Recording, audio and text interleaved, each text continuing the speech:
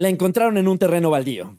La fiscalía investiga el caso por suicidio, mas no como un feminicidio, pues si lo hacen como tal, mancharía aún más al Estado de Nuevo León. Demeritaron su calidad como mujer, pero sobre todo sembraron pruebas absurdas, achacándole esto a una posible depresión. No le entregan el cuerpo a su padre y hoy las diferencias entre la Fiscalía General y el gobierno de Nuevo León evidencian lo que me temía. Estos mensajes entre líneas son para cortarle la cabeza a un pesado, que aún no sabemos quién será, y todos defenderán su puesto para hacer caer al que se deje, mientras los casos de feminicidio en el estado de Nuevo León siguen sin parar. Entérate de todos los errores en el caso de Yolanda Martínez y por qué nadie le está prestando la atención que este caso también se merece. ¿Qué le sucedió en realidad? Bienvenido seas a Mafian TV.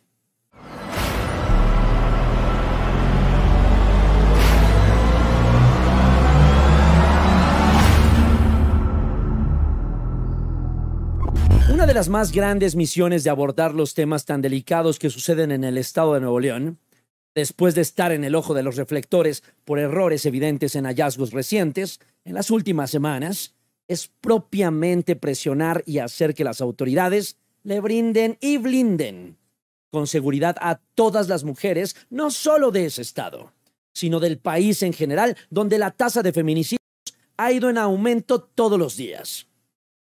Tan solo en el 2021, en todo México, la tasa de feminicidios superaron los mil casos, sin tomar en cuenta las desapariciones, que para este momento superan las 20.148 mujeres, la mayoría de entre 15 a 19 años. Y lo preocupante, según registros y estadísticas, es darnos cuenta que muchas de ellas quedan en el olvido de su desaparición, tal como lo pretenden hacer con el hallazgo de Yolanda Martínez, que por cierto, por si no lo sabías, donde la encontraron es un lugar transitado a unos 15 minutos de la casa donde ella vivía con su padre, en Real de San José.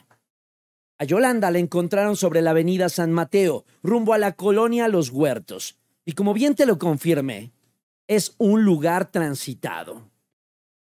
La fiscalía asegura que su cuerpo tenía más de tres semanas de haber fallecido, pero curiosamente, con tremendo calor, lluvias y más, nadie se había percatado de su presencia. Cabe mencionar que pasaron más de 38 días desde su desaparición hasta encontrarla. Recuerda que si la fiscalía aseguró tener tres semanas aproximadamente de haber fallecido, sobran días sumamente interesantes para que el cuerpo desprendiera gases y demás. La gente de ahí pudiese detectado de manera inmediata, diera con el cuerpo de Yolanda, pero ni con ese operativo de búsqueda, nadie, nadie pudo dar con ella. En ese medio mes, nadie dio con ella.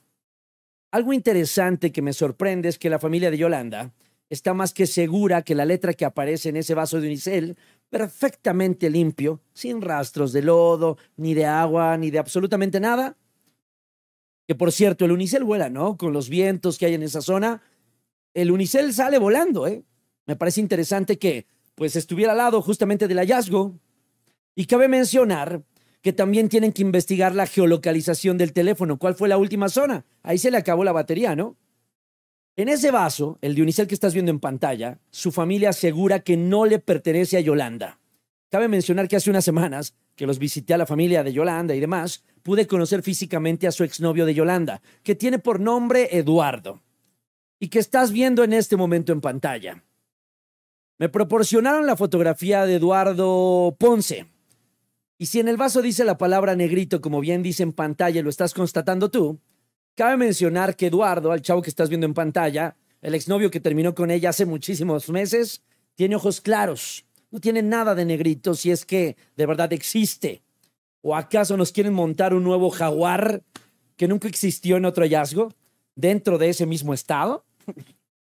Durante el actual mandato presidencial se han contabilizado 7.901 desapariciones de mujeres. Y esta cifra ha ido en aumento en los últimos años. Yolanda Martínez lamentablemente pasó de ser una más buscada a esta estadística de personas que perdieron la vida, a quien quieren demeritar su condición y la revictimiza la, mismísima fiscalía, compartiendo en sus conferencias estas fotografías que estás viendo del hallazgo. Si lo hicieron con Yolanda, ¿por qué no compartieron las fotografías del hallazgo y de los elementos que se han encontrado de otros casos que también sucedieron en otras semanas? La intención, por lo que puedo percibir, la única intención, repito, es revictimizarla, hacer que la opinión pública viera estas pruebas y todos dijeran, se quitó la vida propiamente por una posible depresión o mal de amores. Y así dejar de cuestionar a la fiscalía sobre un posible feminicidio y desviar toda la atención bajando de categoría de investigación propiamente este hallazgo, porque como bien te lo dije al arranque de este video, se hablaba, o mejor dicho, se habla de un suicidio, más no de un posible feminicidio. Qué tristeza, ¿no lo crees? Samuel García, gobernador del estado de Nuevo León, en vez de hacerse responsable de la seguridad de su estado, proponer operativos de búsqueda y protección nocturna, o en su defecto, promover rondines nocturnos para salvaguardar la integridad de todas las mujeres en Nuevo León, así como le hacen con el alcoholímetro, así poner retenes en el estado, donde detengan a carros que sean sospechosos y que puedan llevar o que puedan prevenir este tipo de delitos. ¿No lo creen? Sería formidable. No, al señor Samuel García prefiere aventarle la pelotita a la fiscalía y me deja ver que efectivamente las tonterías que está haciendo la fiscalía están afectándole en su reputación como influencer más no como gobernador. Y por esa razón quiere deslindarse en redes sociales por completo de todos estos actos tan crueles, actos que vulneran a muchas mujeres en todo ese estado, dejando ver que esos mensajes entre líneas que quiero lograr entender como periodista son para cortarle la cabeza a quien y propiamente son en contra de la fiscalía o del mismísimo gobernador del estado. Ya estamos hartos de excusas, de términos jurídicos, legaloides, para evitar dar la cara, para esconder las pruebas y para evitar la verdad. Porque Nuevo León y don Gerardo merecen la verdad de qué pasó en este asunto. Lo invito responsablemente a que respetemos la Constitución como lo hemos jurado al protestar. Usted como gobernador del Estado y yo como fiscal general de justicia de Nuevo León. Detrás de esta ola de feminismo, ¿qué tipo de mensajes hay entre líneas y esas cabezas grandes para entender que este mensaje de pleito entre ellos es claro para tumbar a uno de los importantes? Y nadie quiere hacerse responsable. Cuando entrevisté a la familia de Yolanda me quedó claro que ella tenía la responsabilidad de una pequeña de tres años, pero sobre todo tenía intenciones de seguir adelante. No por nada, el día que estuve ahí en su colonia, en ese domicilio, me acerqué con la gente de la papelería que me aseguró ella fue a comprar una solicitud de empleo para ir en búsqueda de su futuro. Eso nos habla psicológicamente hablando de alguien que iba obviamente en búsqueda de seguir creciendo. Esa fue la última vez que la vieron en la colonia. Y hoy quieren hacernos ver completamente lo contrario.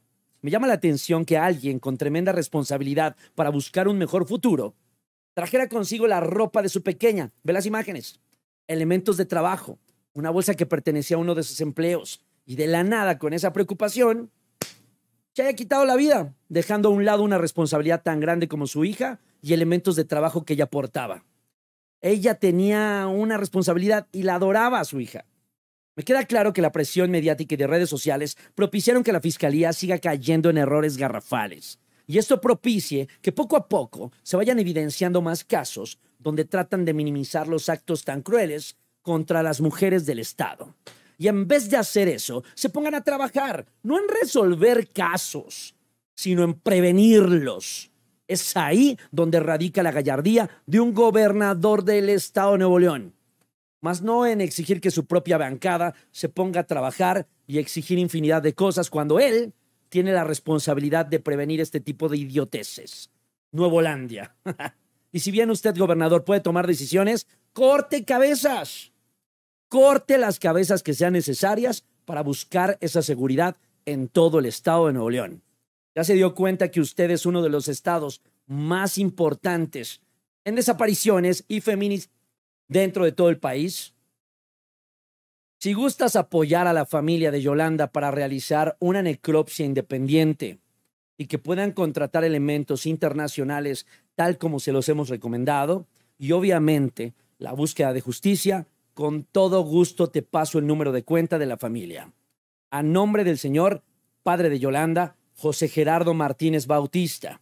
El banco es BBVA y el número de cuenta es 4552 3139 4720 2581. Yo incluso ya también realicé mi donación. ¿Qué opinas del caso Yolanda Martínez? Hay muchísimas dudas, pero sobre todo muchas preguntas que no han arrojado los medios de comunicación en las conferencias. ¿Por qué no lo hacen? La familia no quiere externar por miedo a meter la pata dentro de las investigaciones ningún tipo de declaración. Felicidades, han sido sumamente responsables y hasta no tener elementos suficientes, como bien me lo confirmaron, compartirán con los medios de comunicación lo que sea necesario para esclarecer lo que sucedió con Yolanda. Y así los compartirán con la prensa, medios internacionales, redes sociales y más. Por favor, apoya a la familia porque gracias a ellos y gracias a nosotros que lo estamos apoyando, podrán ellos encontrar la verdad. Apóyalos. Esa decisión, de verdad, familia de Yolanda, se las aplaudo. Se las aplaudo. Les mando un gran abrazo.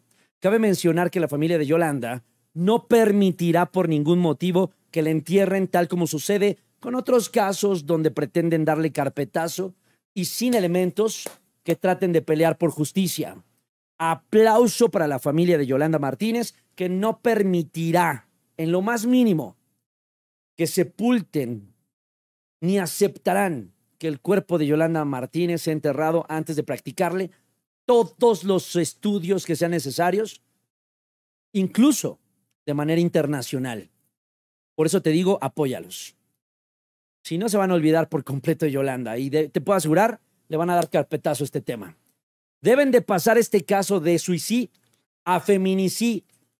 Comparte para que este video de verdad llegue a muchas personas y sepan que de verdad, a pesar de que sean crudos, sirven para presionar a las autoridades y encuentren a los verdaderos responsables. Muchos medios de comunicación deberían de hacer lo mismo, presionar hasta las últimas consecuencias. Esta noche nos vemos ya en un ratititito, en una media hora. Nos vemos en Twitch y en YouNow hablando de este tema sin pelos en la lengua, que nos impactan en todo el mundo. Pero sobre todo, la decepción del Estado de Nuevo León. Nos vemos en la noche en vivo, rufianes. ¿Dónde más? Aquí en Mafián TV y en vivo, así que no te despegues. El link está en la descripción. Nos vemos en vivo en media hora. Esto fue Mafián TV y nos vemos en el siguiente video. Adiós.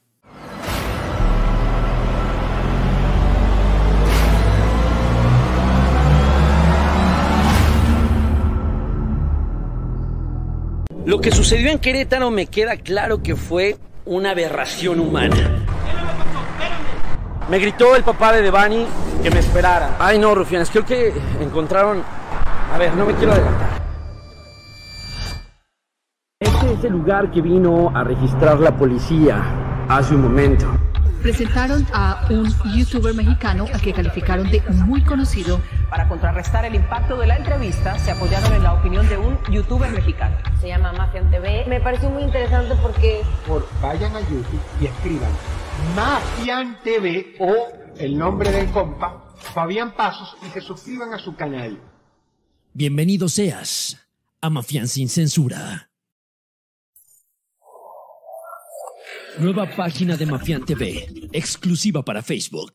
Link en la descripción. Lo que sucede